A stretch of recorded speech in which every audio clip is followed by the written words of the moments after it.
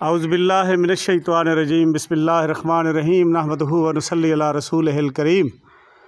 आज मैं उच्च शरीफ जो अहमदपुर शर्किया से तेईस किलोमीटर के फ़ासले पर एक इंतहाई कदीम शहर है, वहाँ की एक निभाई बस्ती कोटला रहमत शाह में आया ठहरा हूँ। और यहाँ आपको एक तारीख़ी इमारत का मुकम्मल तारफ़ करवाऊँगा। क्योंकि मखदूम सैयद आरिफ शाह साहब हमारे साथ हैं, जो इन बुज़ुर्गों की औलाद हैं, जिनकी ये हवेली थी। और बड़े नामवर बुज़ुर्ग थे, इस इलाके की बड़ी नामवर हस्ती थे। तो इस हवेली का मुकम्मल तारफ़ आपको हैरत ज़दा भी करेगा और इस विरसे को देखकर आप खुशी से निहाल भी होंगे। अगरचे मुझे लगता नहीं है कि ये विरसा आने वाले दस पंद्रह सालों के बाद यहाँ मौजूद होगा। लेकिन मैंने अपनी ये ड्यूटी समझी, तनवीर मदनी साहब ने जब मुझे निशानदही की तो मुझसे रहा ना गया और मैं यहाँ पहुँचा कि इस विरसे को अपने चैनल के लिए महफूज कर लूँ ताकि आने वाली नस्लों को मालूम हो कि इन इलाकों में क्या क्या चीज़ें मौजूद थीं। ये इस इलाके के नामवर बुज़ुर्ग थे, बहुत बड़ी दीनी शख्सियत थे, सैयद करम हुसैन शाह साहब। ये उनकी हवेली थी। यानी ये आठ बिघों में चार एकड़ चार। चार एकड़ हाँ आठ बीघे। और जिसके आठ बीघे बनते हैं उनमें ये तामीर की गई बहुत बड़ी हवेली थी। इस हवेली की मुकम्मल तफसीलात मैं आपको सैयद आरिफ हुसैन शाह साहब से ही सुनवाऊँगा क्योंकि वो इंतहाई खूबसूरत अंदाज में इसकी एक एक जुज़ को जो है नुमायाँ करके बताते हैं। तो मेरे से तो इमें जिमें कोई कैफ़ियत तारी थी वी है जल्द शाह साहब मेरे को जेको गाल नहीं दसन मैं को लफ्ज जी नहीं बयान कर सकता सकदा। तुसां सुन सो शाह साहब के मुंहुं जल गाल तो मेरे को यकीन है कि थोड़े ते भी कैफ़ियत ही तारी थी सी।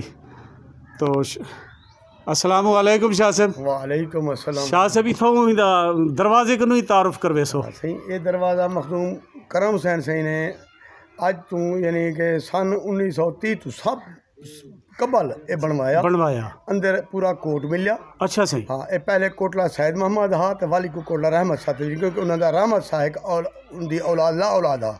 ये हूँ ना थी को तब तब्दील कितो ने अच्छा पहले ही इलाके दा ना कोटला?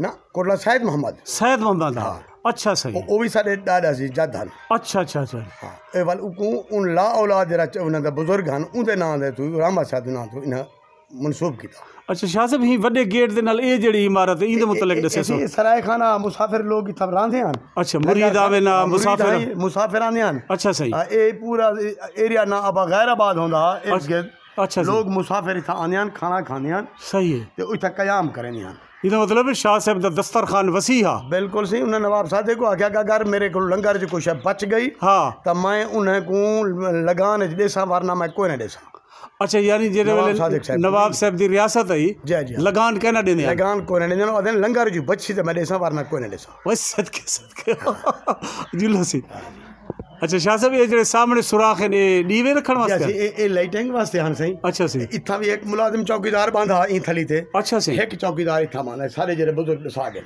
अच्छा सही मैं आपको ये दरवाजे की जो बनावट है ये दिखाऊँ और आप कभी अब्बासी नवाबों के महलों में जाएँ और उनकी बड़ी बड़ी इमारत को देखें तो यही तर्ज़ तामीर आपको वहाँ भी दिखाई देगा। इंतहाई खूबसूरत दिल को मोह लेने वाली इमारत है ये।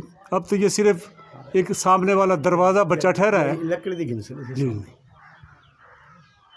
और अंदर पूरी तफसील आपको फिर शाह साहब से मैं सुनवाऊँगा।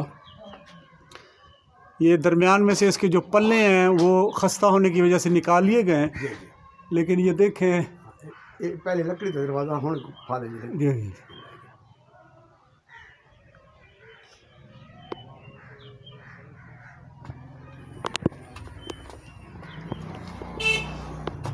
ये इस इमारत हाँ। अच्छा सब ये इतना प्लस्तर नाले सुराख जब बंद थे अगड़े क्या? इतना गला है खाने रखने की जगह ही सही था। खाना किवें सी? खाना जरे मेहमान आवे ना मुसाफिर आवे ना अंदर दाया खाना चाहवे ना अच्छा सही। इथे चंगे भले जगह है अच्छा। रखा है एक इथे एक दूजी साइड दे। ए सामने वाली सी। ए सामने वाली ये बंद थेकड़ी सी प्लास्टर नाल। अच्छा। इदे अंदर खाना रखने दी जगह है।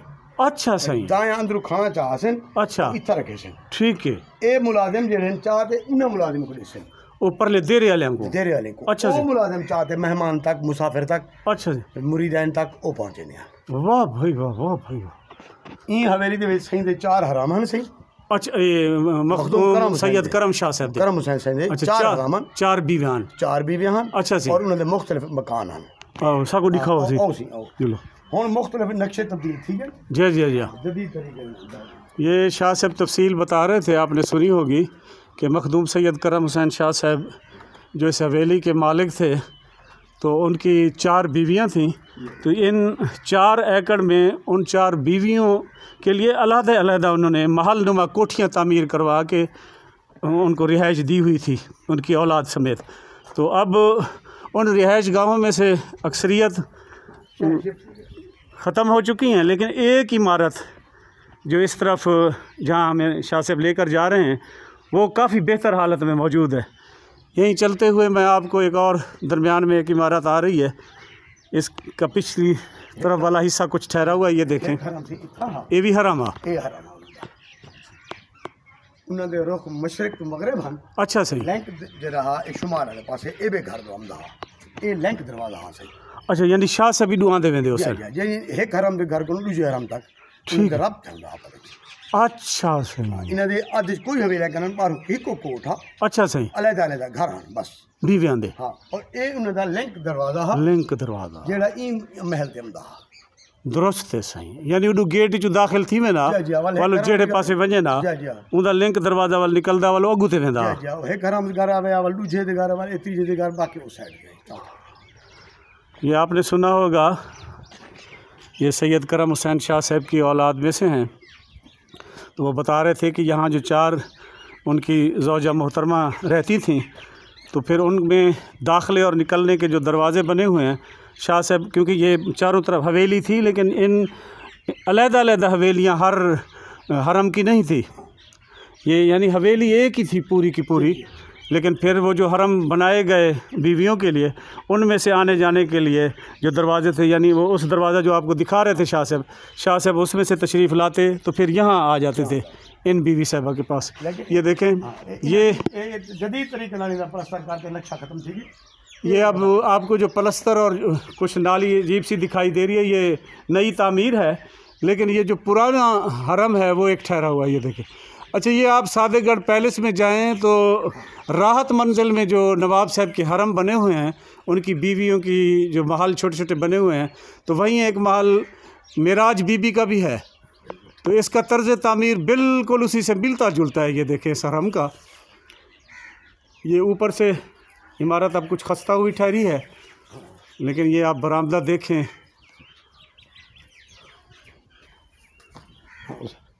ये देखें। એવું તલે ત્રાય ફૂટ તું અસો બહુ ये इस पर शतीरों हाँ, की जगह पे जगह पे उमर क्या सही नहीं तरमीम को नहीं कड़िया नहीं तो तरमीम की चीज़ें कड़िया हुए। हम्म, हम्म, हम्म, कड़िया हुए लेकिन तरमीम की चीज़ें उलट पड़ा सही सही। तो शाह साहब बता रहे थे क्योंकि करम शाह साहब की वफ़ात के बाद फिर उन उनकी औलाद के हिस्से में ये जगहें आ गईं तो फिर हर वारिस ने अपनी मर्ज़ी के मुताबिक वो पुरानी इमारत को तरमीम। में ले आए और अपनी मर्ज़ी से तामीरात की हैं लेकिन ये एक इमारत जो है तकरीबन उसी हालत में ठहरी है अगरचे इस पर प्लस्तर वगैरह ताज़े किए गए हैं आजकल के दौर के। लेकिन ये इमारत तकरीबन उसी हालत में ठहरी हुई है ये देखें ये इससे भी ऊँची छत थी इसकी। ये फिर शाह साहब ने इस खौफ से कि कहीं ये तेज़ बारिशों में नीचे ना गिर जाए थोड़ी सी नीचे करवाई है। एक भी फुट बुलंद है ये 21 फुट पर ये छत डली हुई थी। और अब ये तकरीबन छः बारह तकरीबन 16 फुट तो अब भी है ये। बिल्कुल तो ऐसे समझे कि पाँच फुट जो इसके ऊपर और छत थी उसको शाह साहब ने इस खौफ से कि कहीं पुरानी छत है इसकी ईंटें ख़राब होंगी नीचे ना गिर जाए। लेकिन शाह साहब बताते हैं कि जब मैंने छत को उखड़वाया तो हर चीज़ ऐसे पड़ी थी जैसे आज ही उसकी तामीर की गई हो।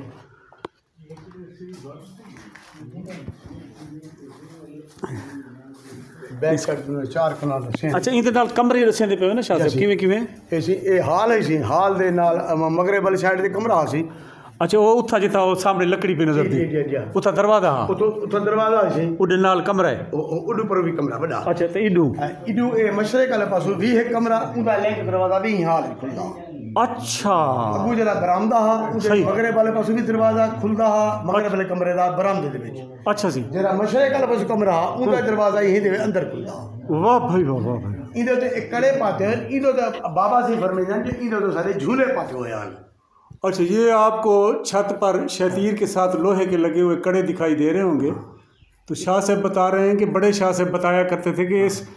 इन कणों में उनके झूले हुआ करते थे। झूले और पालकियाँ झूले और पालकियाँ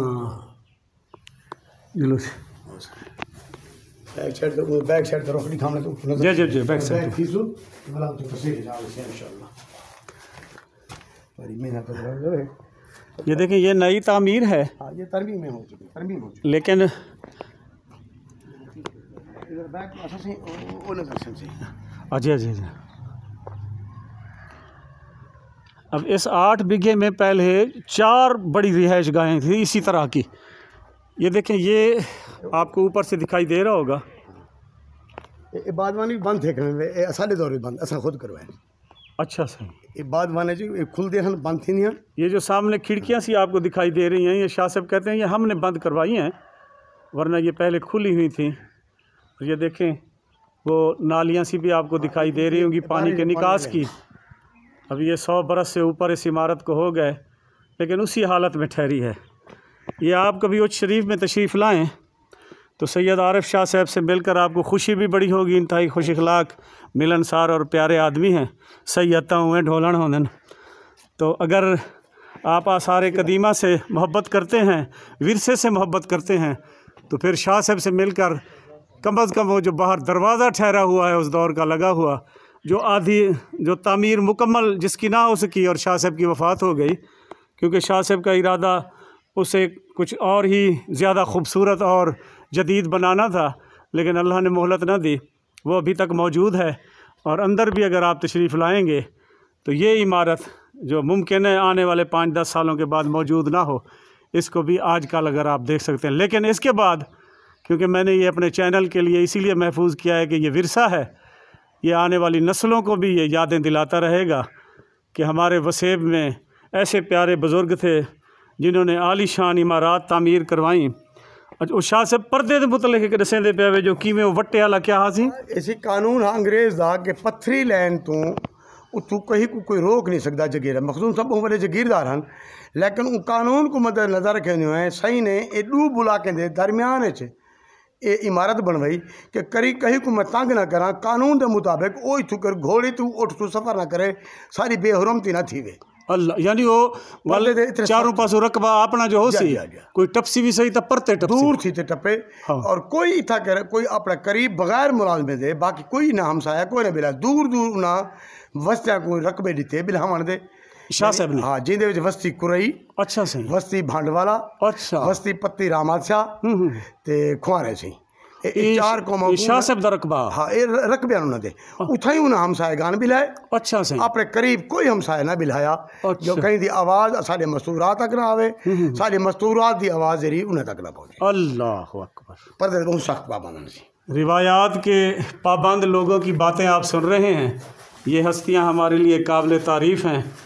ऐसी बातें जब हम सुनते हैं तो हमारा भी सर फ़ख्र से बुलंद हो जाता है कि हमारे वसीब में, हमारे बुज़ुर्गों में वो लोग थे जो अपनी इज़्ज़त पर हर चीज़ को कुर्बान करने के लिए तैयार रहा करते थे। तो आप ये देखें कि शाह साहब ने सिर्फ़ पर्दे के बायस सोलह सोलह मुरबों के दरमियान में ये इमारत, इमारतें तामीर करवाईं ताकि लोग उनके रकबे से बहुत दूर होकर गुजरें, क्योंकि उस वक्त सवारियाँ घोड़ा और ऊँट हुआ करती थी, ताकि पर्दा ना पड़े।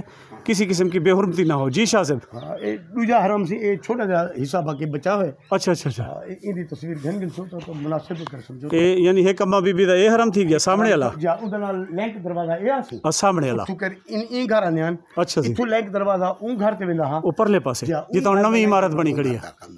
ए चार हरामन हम्म, हम्म, हम्म। इन दे अंदर मौजूद है स्कोर दंदा ये आपने मुकम्मल तफसील सुन रही कि ये एक हरम ये था हरम से मुराद जो शाह साहब की जोजा मोहतरमा होती थी उनकी हाँ हाँ, हमारी दादी तामीर। हमारी दादी अम्मा। सैयद आरिफ हुसैन शाह साहब की दादी अम्मा। तो उनके लिए ये एक हरम उनकी एक दादी के लिए ये था। और फिर शाह साहब का आने जाने का जो रास्ता था एक हरम से दूसरे हरम में वो भी आपको शाह साहब ने दिखाया है। तो ये देखें ये वाला दरवाज़ा। जब उस हरम में आप तशरीफ़ लाते तो फिर इधर आना होता तो इस दरवाज़े को खुलवा कर आप इस तरफ़ आ जाया करते थे। और इसके साथ वाला जो हरम है, अगर उधर जाना होता तो ये जो हरम आप देख रहे हैं सामने तो इसके इस तरफ़ ये, यानी ये जहाँ से आपको ये ताज़ा आजकल का किया हुआ प्लस्तर दिखाई दे रहा है, इसी इमारत के दरमियान में एक दरवाज़ा है, उधर से निकल कर फिर वो तीसरे हरम में चला जाया करते थे।